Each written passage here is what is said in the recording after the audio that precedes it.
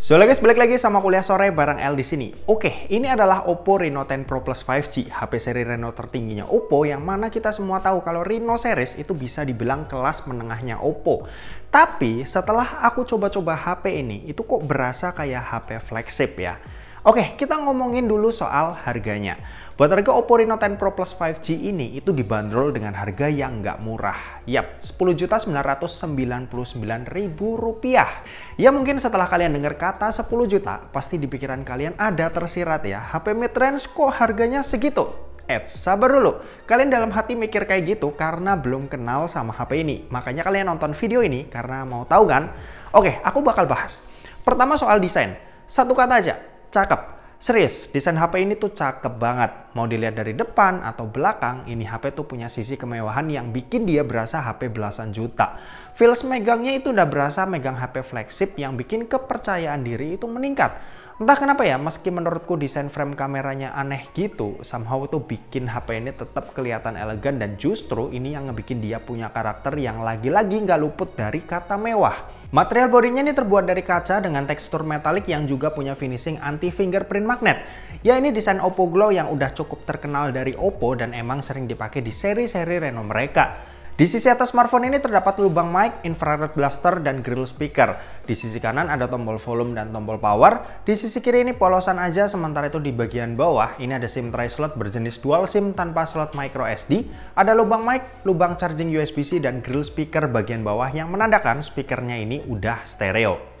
Untuk panelnya ini AMOLED 3D curve screen, resolusinya 2772 x 1240 pixel dan punya size layar yang besar di 6,74 inci.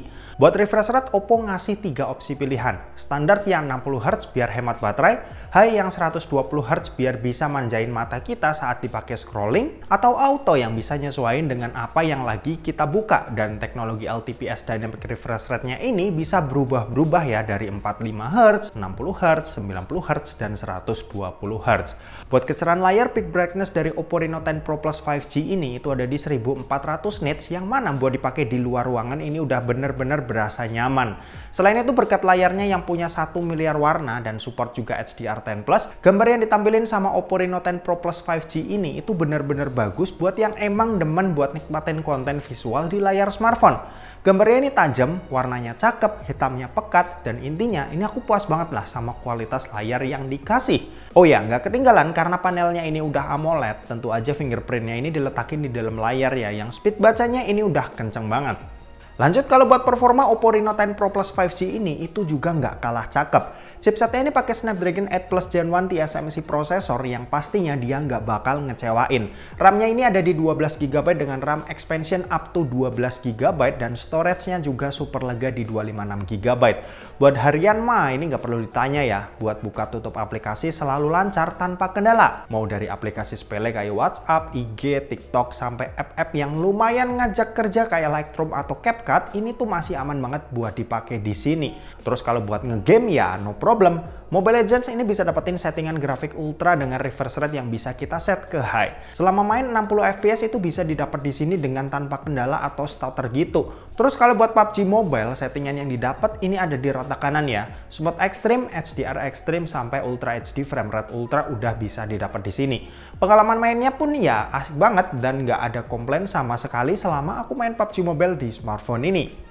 Kalau buat Genshin Impact di settingan lowest ini bisa stabil banget nih dapetin 60 fps. Kalau di highest ini naik turun cuma emang terendahnya ada di 40-an fps jadi masih cukup nyaman. Kalau mau lebih nyaman lagi tapi grafik masih oke mending set aja ke medium. Di sini menurutku adalah settingan yang paling enak buat main Genshin di Oppo Reno 10 Pro Plus 5G ini. Kalau buat daya, smartphone ini kapasitasnya ada di 4700 mAh yang efisiensi dayanya ini termasuk bagus. Nonton YouTube selama satu jam baterainya ini berkurang sebanyak 5% aja. Main sosmed, tiktokan gitu selama satu jam baterainya ini berkurang sebanyak 6%. Dan buat main Genshin di settingan lowest selama satu jam baterainya berkurang sebanyak 19%. Sementara itu buat kecepatan ngecasnya sendiri dia kenceng banget. SuperVOOC Flash 100 wattnya ini tuh bisa isi daya full sampai 100% cuma butuh waktu 27 menit aja nih. Gokil! Buat sistem operasi Oppo Reno 10 Pro Plus 5G ini itu berjalan di Color OS 13.1 dengan basis Android 13. Secara desain UI, Color OS ini termasuk salah satu yang simple, ringan, dan nyaman juga nih buat dipakai. Oke dan terakhir kita mau bahas soal kameranya. Jadi buat kamera Oppo Reno 10 Pro Plus 5G ini itu dibekali dengan setup triple kamera. Ada kamera utama yang punya resolusi 50 megapiksel dengan sensor flagship Sony IMX890 yang udah ber-OIS. Terus ada kamera telefoto portrait 64 megapiksel dengan optical zoom 3 kali dan ada juga kamera ultrawide dengan sensor IMX355 dan punya lebar di 112 derajat. Sementara itu buat kamera di bagian depan ini ada kamera yang resolusinya 32 megapiksel dengan sensor IMX709 dan menariknya dia ada autofokusnya nih. Cakep. Oke, buat hasilnya apakah seindah spek di atas kertasnya? Dan ternyata iya. Yap, aku suka banget sama hasil foto dari Oppo Reno 10 Pro Plus 5G ini. Hasil gambar yang dijepret ini menunjukkan dia nggak sekedar menang gaya aja ya dengan modul kameranya yang ngeri. Tapi emang hasil yang didapat dari kameranya ini tuh benar-benar memuaskan lah untuk di kelasnya. Cocok dengan tagline-nya yaitu The Portrait Expert. Untuk hasil foto malam pun ini terbilang cukup oke. Okay. Mode malamnya ini lumayan bisa bikin hasil foto yang tadinya super gelap jadi berasa lebih hidup. Nah, sisanya kalian bisa cek aja dari hasil foto-foto berikut ini.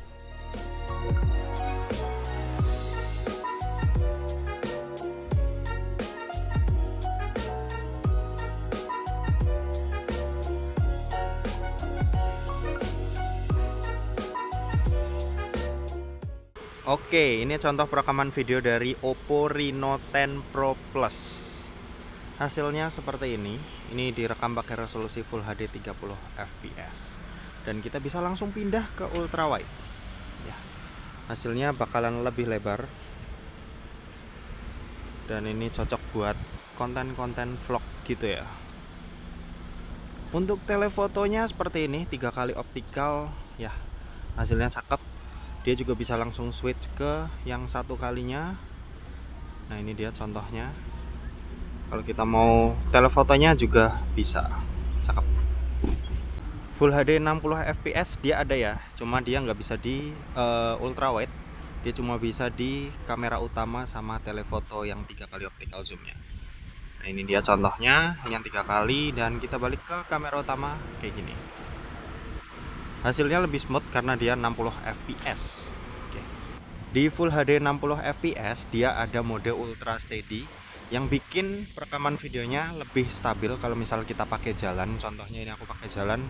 Kalian bisa lihat getarannya nggak kerasa ya. Cakep.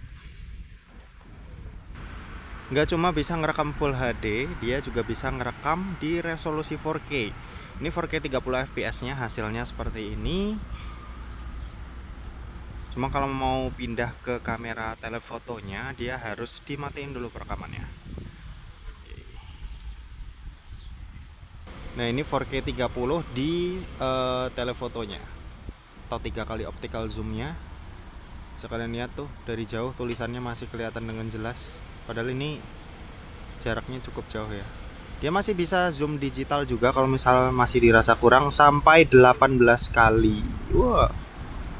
Mantap Nah, ternyata dia juga bisa di 60 fps saat kita ngerekam di 4K-nya. Jadi hasil gambar detailnya lebih tajam sama lebih smooth. 4K 60 fps. Cuma ya resikonya emang size videonya bakalan membengkak ya. Ini buat kalian yang pengen dapetin detail bagus sama kestabilan atau kesmutan yang oke okay lah. Oke, ini telefotonya juga bisa di 60 fps 4K. Cakep. Zoomnya juga bisa sampai 18 kali. Uh. Oke, mantap. Oke, buat kamera depan hasilnya kayak gini. Ini Full HD 30 fps. Ya, bisa kalian lihat kalau backlight kayak gini muka masih kelihatan dengan jelas ya. Cakepnya itu. AI-nya masih bisa ngedeteksi muka dengan sangat baik jadi bikin SDR nya cukup bagus tuh. Muka masih jelas padahal belakang langit ya. Langitnya juga masih kelihatan biru. Mantap. Oke kamera depan ada juga ultra steady. Tapi ya hasilnya bakalan ngecrop kayak gini. Cuma ini bakalan cocok saat misal kalian lagi butuh uh, video yang stabil ya. Kalau misal kalian lagi ngevlog misal lagi jalan cepet gitu kan biasanya videonya nggak stabil. Nah kalian bisa aktifin aja fitur yang satu ini. Hasilnya kalau misal dipakai jalan cakep oke gitu aja kita balik ke studio yuk Oke, kesimpulannya Oppo Reno 10 Pro Plus 5G ini itu adalah HP yang bagus. Semua sisinya itu cakep dan sulit buat dilawan. Nah, pertanyaannya, apakah HP ini pantas dihargai dengan harga 10 jutaan? Jawabannya yes, sangat pantas. Semua sisi dari smartphone ini udah kita lihat bareng-bareng kalau ini HP tuh emang ngebawa sesuatu yang benar-benar berkelas ya.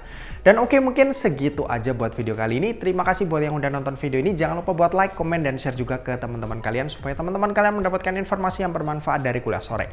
Oke terima kasih buat yang udah nonton video ini sampai habis dan sampai jumpa di kuliah selanjutnya. Bye-bye.